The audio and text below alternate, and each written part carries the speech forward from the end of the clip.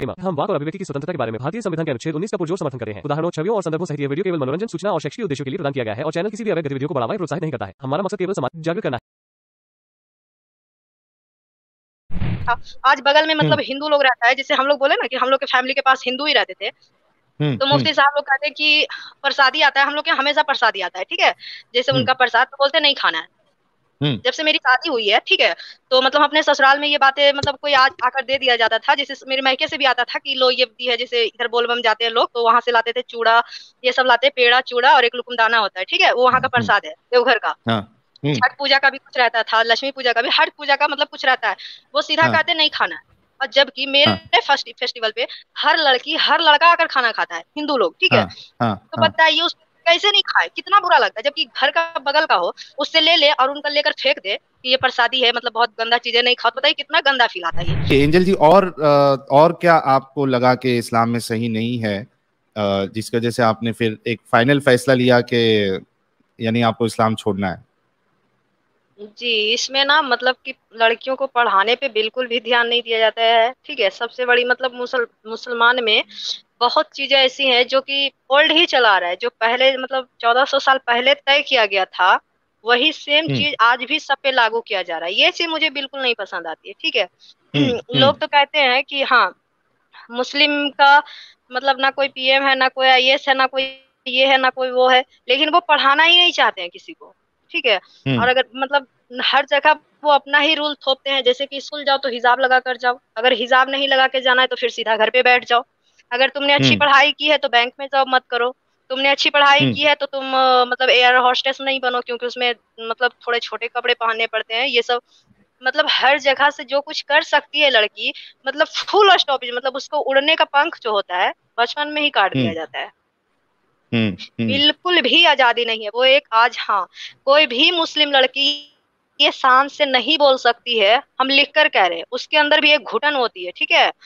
कि हम्म। हम जो लाइफ जी रहे हैं वो एक कष्ट वाली है वो एक लाइफ जो एक घुटन सी है क्योंकि उसको पता है कि बहुत सारी चीज़ें उसके मर्ज़ी के खिलाफ होती है। बहुत सारी क्या मतलब निन्यानवे परसेंट ठीक है? मतलब हम्म। वो उसकी मर्ज़ी के खिलाफ ही होती है वो नहीं चाहती हिजाब करना फिर भी उसे हिजाब करना है वो नहीं चाहती है मतलब टाइम टू टाइम नमाज़ पढ़ना फिर भी उसे पढ़ना है। वो चाहती है गाना सुनना लेकिन उसे नहीं सुनना है। वो चाहती है डांस करना लेकिन उसे नहीं करना है। वो चाहती है हम्म। अच्छा एजुकेशन लेकर कोई जॉब करना अच्छा सा लेकिन वो नहीं कर सकती है ठीक है? वो चाहती है अपने भाई से बहनों से हंसकर बात करना लेकिन उसे नहीं करना है। मतलब हद हम्म। से ज़्यादा पाबंदी है मुझे ये चीज़ बिल्कुल पसंद ऐसा लगता है जब आप नम, हम नमाज़ पढ़ते थे तो मुझे ऐसा लगता था कि हम इंसान ही नहीं है हाँ। सच्ची बता रहे मुझे ऐसा लगता था कि हम इंसान ही नहीं है क्योंकि सुबह उठते थे चार बजे सुबह से लेकर मतलब कि दिन भर हमको रोजा नमाज़ किताब रोजा नमाज़ किताब ना तो मतलब कि यहाँ तक कि बन बनाना नहीं है लड़की को एक हम्म। जुड़ा होता है ना वो लड़की लोग बनाना चाहती क्योंकि उसको गर्मी के टाइम में नमाज़ पढ़ने पे बाल जब लटकता है ना तो उसको क्या मतलब महसूस होता है? वो एक लड़की ही बता सकती है। मतलब गर्मी हो रही है ऊपर से जी। हाँ ये पॉइंट मैं ऐड कर दूँ क्योंकि साढ़े आठ हज़ार लोग देख रहे हैं। एक चीज़ ऐड कर दूँ क्योंकि हो सकता है कि बहुत सारे मुसलमानों को भी ये ना पता हो। यानी अगर आप जो वो जूड़ा बोलते हैं ना उसको जूड़ा या चूड़ा जो हम लोग के मुंबई में चोंडा बोलते हैं उसको। बन बन। तो आप देखिए कि अगर वो ये साइड पे अगर वो बन लगाती है या चूड़ा बांधती है तो उस पे भी लानत भेजी गई है यहाँ पे। हाँ, नमाज़ ही नहीं क्या है ये? क्या ये मतलब अगर कोई लड़की उस टाइम कोई लड़की अगर यहाँ पे चूड़ा बांधे तो उस पे लानत अजीब है यार। जी जी एंजल क्यों बांधती है? उसका भी रीजन उसका भी रीजन है ना वो क्यों बांधती है चूड़ा? क्योंकि गर्मी में एक तो तो मतलब पारदर्शी एक कपड़ा होता है मतलब पतला सा वो उसको दुपट्टा ओढ़कर उसको नहीं नमाज़ पढ़ना उसे गाढ़ा सा दुपट्टा पढ़ना है पूरे झपा हुआ होना चाहिए जिससे आर पार ना दिखता हो उस टाइप का दुपट्टा ओढ़कर नमाज़ पढ़ना हो मान लीजिए हम्म। कि आप नमाज़ पढ़ रहे हो बहुत ज़्यादा गर्मी हो रही है और लाइट चली गई ठीक है तो ऊपर से हम्म। पूरे पीठ पे लड़की का बाल बिखरा हुआ है ऊपर से उतना सारा मोटा चादर उस पर वो लपेटी हुई मतलब उसको सोचिए कितना गर्मी लगता है इस वजह से लड़कियाँ हम्म। जो है बना लेती है ताकि बाल उसको ना चुभे और गर्मी नहीं हम्म। लगे। लेकिन उसमें भी बोल दिया गया है कि ये गलत है। हम्म। ठीक है? हाँ और अगर बाई चांस अगर लड़कियाँ का मतलब थोड़ा सा पैर अगर कोई कपड़ा वो कंफर्टेबल पहन कर है तो वो चाहे कि हम्म। उसी कपड़ा में नमाज़ पढ़ ले तो नहीं ये भी नहीं हो सकता है। मतलब घुटने तक ही पहनना है पूरे नीचे तक ही झपा हुआ होना चाहिए। हाँ और अगर नहीं। हो रहा है तो फिर एक पर्सनल कपड़ा रखो जो तुम नमाज़ पढ़ने के टाइम पहनो फिर उसको उतारो फिर दूसरा कपड़ा पहनो फिर तुम ऑफ़िस जाओ। इतना किसके पास टाइम है? बिल्कुल। अच्छा प्रीति ह्यूमन जी, अगर आप सुन रही हैं तो मैंने डिस्कॉर्ड पे आपको लिंक दे दिया है, आप जुड़ सकती हैं। अच्छा इसमें और एक चीज़ एंजल जी, के मुसलमान औरतें जो है, वो आईब्रो भी नहीं बना सकती हालाँकि कई सारी मुसलमान औरतें जो है, वो सरासर नबी की इस बात को नहीं मानती है, या इसकी खिलाफ वर्जी करती है, वो आईब्रोज बिल्कुल बनाती है, लेकिन आईब्रो बनाने पर भी अल्लाह के रसूल ने लानत भेजी औरतों पर।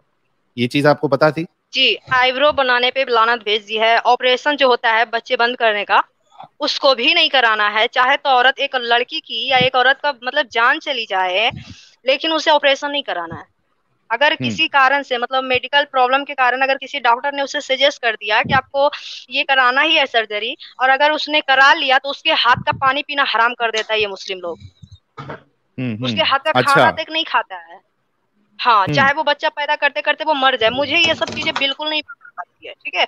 हम चाहते कि अल्लाह पाक लड़का को भी बनाया और लड़की को भी बनाया। फिर दो नियत हम्म। क्यों? सारी सारी के सारी जुल्म हम लोग पे ही क्यों? हम्म, कुछ हम ही क्यों झेले? फिर भी लड़की बददिमाग है फिर भी लड़की कम अकल है फिर भी लड़की को जानवर की तरह ट्रीट करो क्यों?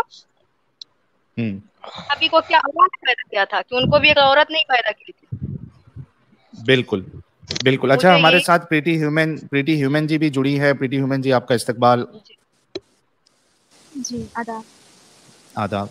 अच्छा आपने अ, सुना होगा हमारी एंजल जी जो है बड़े बेबाक तरीके से उन्होंने बहुत सारी चीज़ें बताई कि ट्रीटमेंट कैसा होता है आ, फीमेल्स का और उसके बाद जो एक्चुअल टेक्स्ट में जो चीज़ें लिखी गई है जैसे आईब्रो के बारे में और वो नमाज़ पढ़ते वक्त पूरे अपने आप को ढकना और वो जूड़ा बांधना सर पे आप आप इस पे कुछ कमेंट करना चाहेंगी? नहीं लगाना। हाँ। हाँ नेट पेंट नहीं लगाना। इससे नमाज़ नहीं होती। आपकी आवाज़ थोड़ी सी प्रॉब्लमेटिक है। अच्छा रुके वेट कर। अब बात करें इनसे मैं आती हूँ जी जी जी। इंजल जी तो आगे फिर और और क्या क्या चीज़ लगी? मतलब खास करके जो औरतों को लेके जो प्रॉब्लम्स आपको नज़र आए इस्लाम में वो और कुछ भी थे या क्या था? जी जी यही सबसे बड़ी बात है कि मतलब औरत पे इतना ज़्यादा मतलब वो लोग इतना ज़्यादा पाबंदी रखे हैं सब कुछ जितना भी कष्ट है सब औरत बेचारी ही झेलती है। जैसे कि मतलब खुलकर साम जैसे हिंदू लोग में होता है ना कि वो शादी करते हैं जब तो वो कहते हैं कि एक बार शादी किए तो सात जन्मों का वचन है है ना?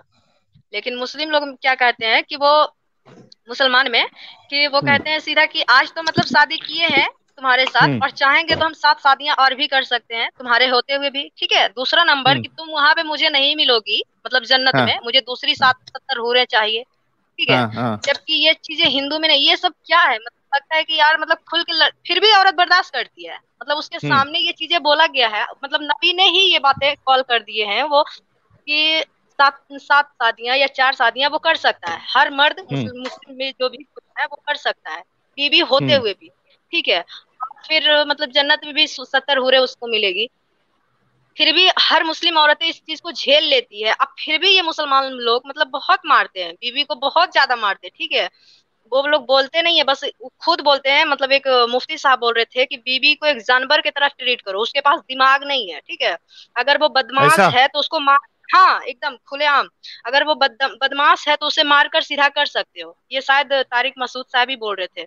कि हाँ ये चीज़ें कर सकते हो। तो क्या है? मतलब कि अल्लाह पाक मुझे बनाए क्यों है? जब उनको इतनी ही हम्म। प्रॉब्लम थी हमसे वो लड़की क्यों बनाए? और क्यों दुनिया में भेजे?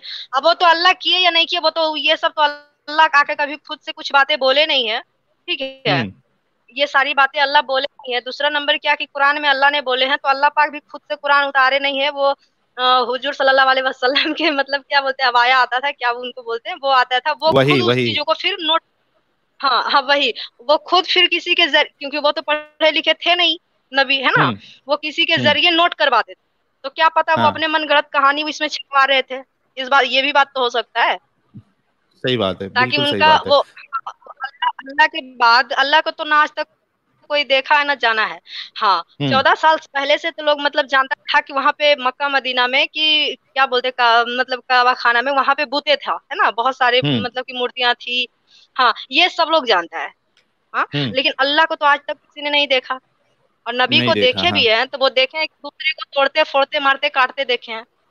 तो इस बात से यही साबित होता है कि ना अल्लाह है ठीक है। और अगर नबी ने ये जो कुछ प्रोगंडा चलाए ये नबी ने ही चलाए कि हमें ये सब वही सारी वो मतलब क्या बोलते हैं अपनी स्वार्थ के लिए ये सारी रूल मतलब यहाँ किए हैं। मुझे यही सब चीज़ें नहीं पसंद आती कि हर औरत को मतलब इतना क्यों तकलीफ़ देते हैं? हम्म, जब अल्लाह हम्म। दोनों को सेम आए हैं तो फिर औरत ही सब कुछ क्यों झेले? उसके बाद हम्म, भी उसको भाव नहीं देना। थोड़ा सा ये नहीं बोलना कि अरे यार तुम भी बहुत अच्छा काम कर रही हो तुम्हारे पास भी दिमाग है। नहीं ये सब बातें नहीं बोलते। सीधा बोलते दिमाग हो औरत के पास तो दिमाग ही नहीं होता है वो तो बद दिमाग होती है। मतलब कहीं जाना नहीं है बिना पूछे तुमको कुछ करना नहीं है। मतलब हम्म। चाह करके भी जिसके पास नॉलेज है टैलेंट है वो नहीं कुछ कर सकती है। ये चीज़ें exactly. इस्लाम में बहुत बुरा है। और जितना हो सके अगर इस्लाम में इस चीज़ को चेंज कर दिया जाए तो इस्लाम हाँ. बुरा नहीं है हाँ. हर रिलीजन अपडेट है, है ना समय के साथ हाँ. जैसे समय हाँ. के अनुसार जो समय मांग रहा है जैसे समय की जो चीज़ें फरमाइश है जैसे अभी है डिजिटल जमाना हर डिजिटल हाँ. हो हाँ। गया है है ना तो उस हम्म। तरह से अगर अपडेट होते हैं जैसे हर रिलीजन हो रहा है हर चीज़ में चेंजेस आ रहे हैं आवाज़ आ रही है इस्लाम में भी जी जी आ रही है आ रही है आपकी आवाज़ हाँ हाँ एक आप अपनी बात कंप्लीट करिए हम्म। जी अगर इस्लाम में भी ये चीज़ें सेम हो तो इस्लाम बुरा नहीं है हाँ हम हम्म, ये नहीं हम्म। मानते कि इस्लाम बहुत ज़्यादा गंदा क्योंकि ठीक है वो उसका धर्म है वो नमाज़ पढ़ना चाहता है पढ़े वो कुरान पढ़ना चाहता है पढ़े ठीक है वो अलग सी बात है लेकिन कम से कम दुनिया के साथ तो आगे बढ़ो जो चल रहा है दुनिया में उसके साथ तो आगे बढ़ो वो उतनी पुरानी बातें क्यों लेकर चल रहे हो कि नबी ने ये बोला था वो बोला था आज बगल में मतलब। हिंदू लोग रहता है जिसे हम लोग बोले ना कि हम लोग के फैमिली के पास हिंदू ही रहते थे तो मुफ्ती हम्म। साहब लोग कहते हैं कि प्रसादी आता है हम लोग के हमेशा प्रसादी आता है ठीक है जैसे उनका प्रसाद तो बोलते नहीं खाना है जब से मेरी शादी हुई है ठीक है तो मतलब अपने ससुराल में ये बातें मतलब कोई आज आकर दे दिया जाता था जैसे मेरे मैके से भी आता था कि लो ये दी है जैसे इधर बोलबम जाते हैं लोग तो वहाँ से लाते थे चूड़ा ये सब लाते पेड़ा चूड़ा और एक लुकुमदाना होता है ठीक है वो वहाँ का हम्म। प्रसाद है देवघर का हाँ।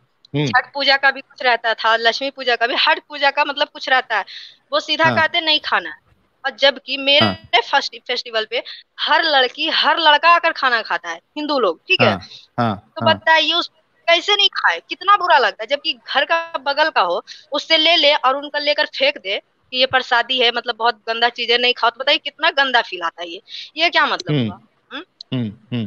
दूसरा नंबर क्या होता है कि मतलब अगर अगर वो लोग मतलब कि हम लोग के ईद के आकर के गला मिलता है जबकि हिंदू होता है फिर भी गला हम्म। मिला बात किया अच्छे से मतलब घर आया बैठा प्यार से एकदम खुश हुआ और जब उसका कोई पर्व आया तो बोलता है उसमें नज़र नहीं पड़ना चाहिए जैसे दुर्गा जी जा रही है विसर्जन के लिए या फिर गणेश जी जा रहे हैं या उनका स्थापना हो रहा है तो फिर बोलता है कि वो सब नहीं सुनना चाहिए। उनका देखना हरा मतलब नज़र पड़ गया तो तुम्हारा वज़ू टूट जाएगा।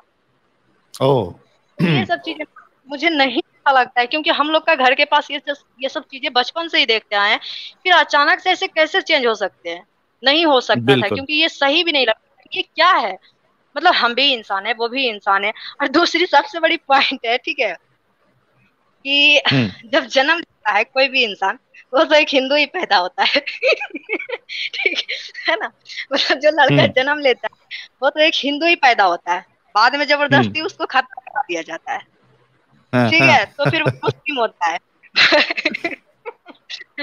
तो इस हिसाब से माने तो मतलब है। ना? मतलब ये तो क्या मतलब समझ में नहीं आता ये क्या ज़बरदस्ती है यार? जब ऊपर वाला खुद अच्छा, क्या रहा है कि नहीं सब हिंदू ही रहे।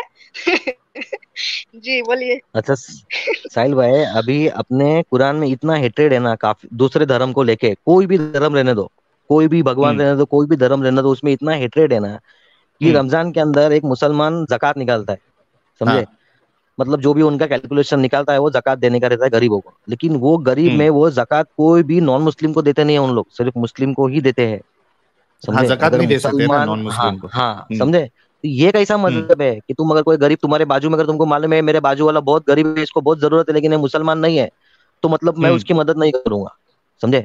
यहाँ तक कि जो कुर्बानी होती है जो कुर्बानी होती हाँ। है अभी कोई कोई लोग रहते हैं नॉन मुस्लिम जो शौकीन रहते हैं गोश्त वोश्त एक मटन वटन खाने के समझे हम्म। सभी वेजिटेरियन हाँ। नहीं रहते समझे हाँ। तो कुछ हाँ। लोग बोलते हैं कुर्बानी होती है तो मटन देने की बात होती है तो ये गोश्त भी हम्म। ऐसा है ना कि तुम किसी हिंदू को गोश्त कुर्बानी का नहीं दे सकते ना तुम्हारी कुर्बानी कबूल नहीं होगी समझे अच्छा, इसलिए बहुत सारी फैमिलीज़ हाँ इसके लिए बहुत सारी फैमिलीज़ क्या करती है हाँ बहुत सारी फैमिलीज़ क्या करती है पाँच किलो गोश्त ना बाहर से लेके आती है समझे हम्म। क्या मतलब मार्केट हाँ, है हाँ, तो आजू बाजू वाले को देने का रहता है ना आजू बाजू वाले को देने का रहता है ना नॉन मुस्लिम लोगों को उनको वो गोश्त में से गोश्त देते हैं। कुर्बानी के गोश्त में से किसी को गोश्त देंगे नहीं इन लोग भले वो फ्रिज में ना पंद्रह पंद्रह दिन महीना महीना भर फ्रिज में दबा के रखेंगे एकदम।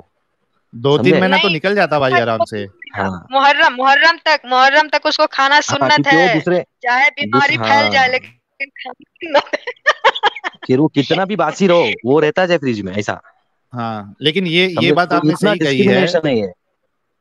मुन्ना भाई अच्छा इसमें तो पहली बात तो ये एक इख्तलाफी मसला है क्योंकि मेरे ख्याल से मैंने कुछ उलमा को ये सुना था कि आप नॉन मुस्लिम को भी कुर्बानी का गोश्त दे सकते हैं। चलो उसको यानी मेजोरिटी अगर हम इस ऐसा लेते हैं कि नहीं दे सकते तो ये बात तो आपकी बिल्कुल सही है कि बहुत सारी मुस्लिम फैमिली जिनके आसपास गैर मुस्लिम होते हैं और चूँकि वो एक एक आस होती है या एक रहता है ना उनके रिलेशन ऐसे होते हैं कि एक दूसरे से मिलके रहते हैं तो वो अपने घर पे फिर मार्केट से गोश्त लाकर मटन लाकर बकरे का गोश्त लाकर फिर वो गैर मुसलमानों में उसमें से बांटते हैं वो ये ये बात आपकी हाँ। बिल्कुल दुरुस्त है